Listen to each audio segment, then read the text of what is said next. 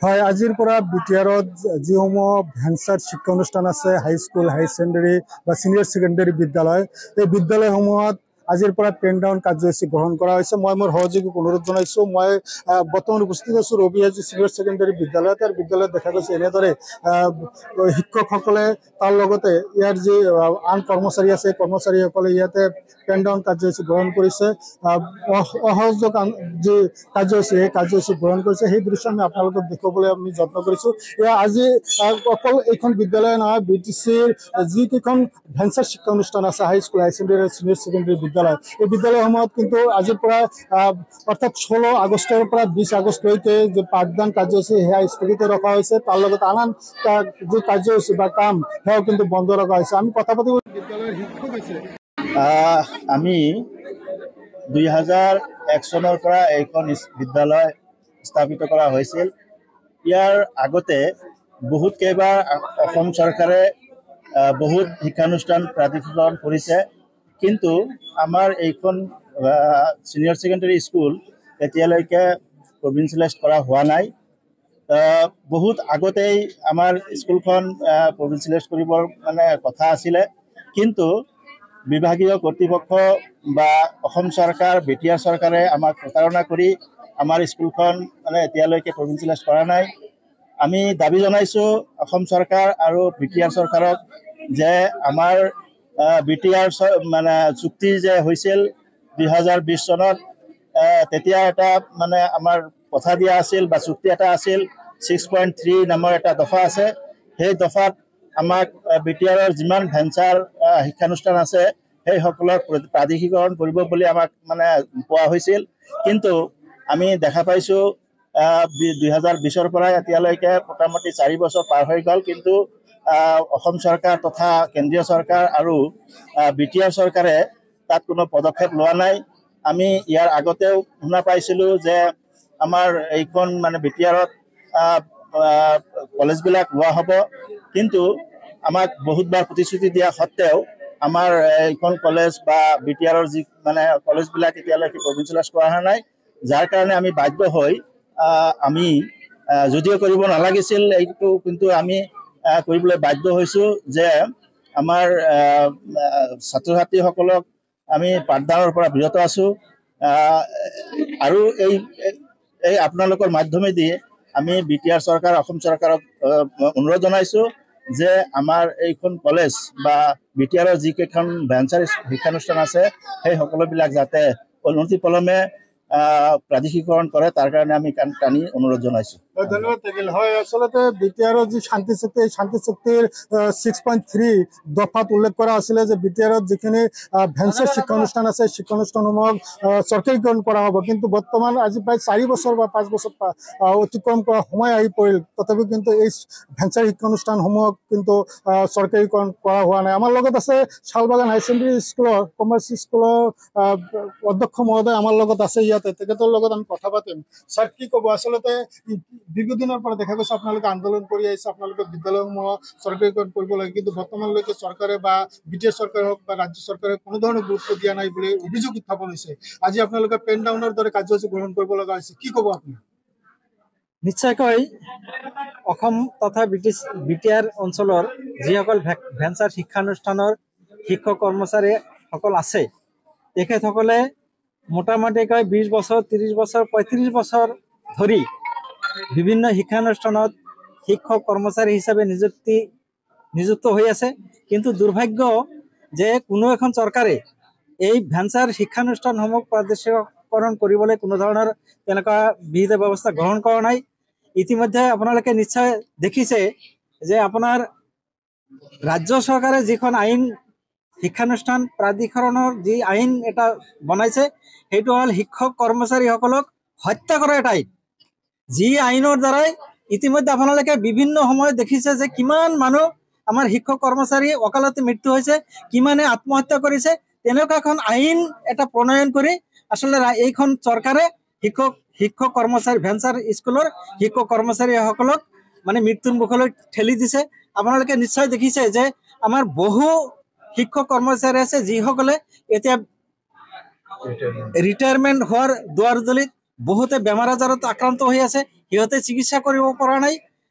তেনে এটা সময়ত হয়তো শিক্ষক কৰ্মচাৰীসকলৰ তেনেকুৱা ধৰণৰ আন্দোলনৰ কাৰ্যসূচী লোৱাৰ বাহিৰে বিকল্প কোনো ৰাস্তা নাই আৰু সেইটো হিচাপতে আমাৰ বি টি আৰ অঞ্চলৰ যি- যিটো ছিক্স পইণ্ট থ্ৰী ক্লজ সেই ক্লজতো কোৱা হৈছিল যে ছয় মাহৰ ভিতৰত বি টি আৰ অঞ্চলৰ ভেঞ্চাৰ শিক্ষক শিক্ষানুষ্ঠানসমূহ প্ৰাধিকৰণ কৰা হ'ব কিন্তু চাৰি মাহ পাঁচ পাঁচ চাৰি বছৰ উকলি গ'ল। আজিলৈকে তেনেকুৱা ধৰণৰ কোনো পদক্ষেপ দেখা নাই। আমাৰ কালি পোন্ধৰ আগষ্ট গুচি গ'ল। আমাৰ শিক্ষক কৰ্মচাৰীসকলে এটা আশা কৰিছিল ৰাজ্য চৰকাৰ তথা বি টি আৰ চৰকাৰৰ পৰা যে এই পোন্ধৰ আগষ্টত এটা ভাল খবৰ আহিব।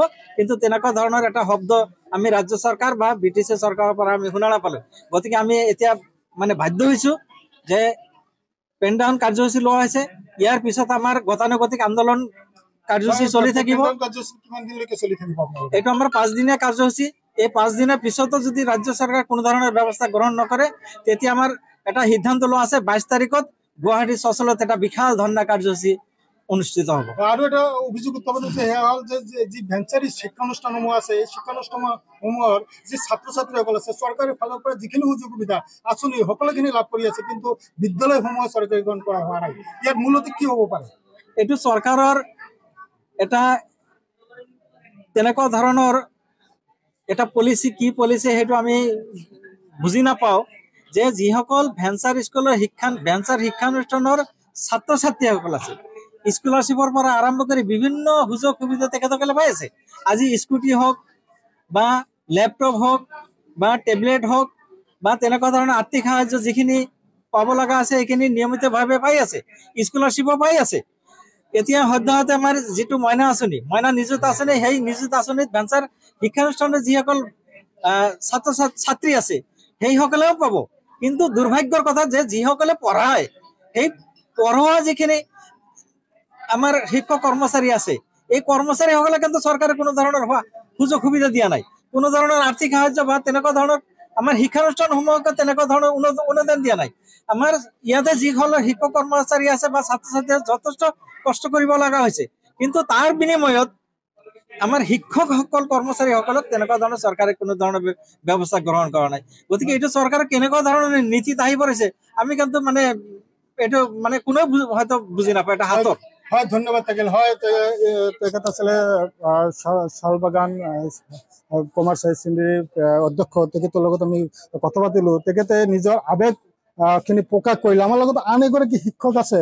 তেখেতৰ লগত আমি কথা জানিব বিচাৰো। আচলতে আপোনালোকে আজি কি অৱস্থাত ধৰ্মঘাট কৰিব লগা হ'ল? কি পৰিস্থিতিত আপোনালোকে তাৰমানে আজি মানে আমি বহুত দিনৰ পৰা আমাৰ এই বিদ্যালয়খন দুই হাজাৰ একৰ পৰা ষ্টাৰ্ট হৈছে আমি কাম কৰি আছো। এতিয়ালৈকে আমাৰ বয়স বহুত বাঢ়ি গ'ল। কিন্তু দেখা গ'ল যে বিভিন্ন সময়ত চৰকাৰৰ ফালৰ পৰা বিভিন্ন ভেকা ভাওনা কথা দি দি আমাক ৰাখি আছে প্ৰভিঞ্চিয়েলাইজৰ কাৰণে। কিন্তু আজিলৈকে সেনেকুৱা কোনো পদক্ষেপ লোৱা নাই। এনেকি আমাৰ বি টি আৰ অঞ্চলত একে একে তিনিটা শান্তি চুক্তি হৈ গ'ল। যি শান্তি চুক্তিৰ মাধ্যমেদি আমাক কোৱা হ'ল আমাৰ বি টি আৰত শান্তি চুক্তি কৰা হ'ব বা আমাৰ বি টি আৰত শান্তি ঘূৰাই আহিব। আৰু সেই সময়তে দেখা গ'ল যে লাষ্টত যিটো বি টি আৰ চুক্তি হ'ল সেই দুই হাজাৰ বিশ চনত সেই বি টি আৰ চুক্তিত ছিক্স পইণ্ট থ্ৰী নম্বৰ এটা ক্লজত এনেকৈ উল্লেখ কৰা হ'ল যে গোটেই ভেঞ্চাৰ স্কুলবিলাক যিহেতু বি টি আৰ অঞ্চলটো এটা পিছপৰা অঞ্চল আগতে বিভিন্ন আন্দোলনৰ সময়ত আমাৰ অঞ্চলৰ মানুহবিলাক শিক্ষানুষ্ঠান পাতিব পৰা নাই। আন্দোলনৰ কাৰণে বহুত ক্ষতিগ্ৰস্ত। গতিকে যিবিলাক শিক্ষানুষ্ঠান অলৰেডি পতা হৈছে সেইবিলাক প্ৰভিঞ্চিয়েলাইজ কৰা হ'ব।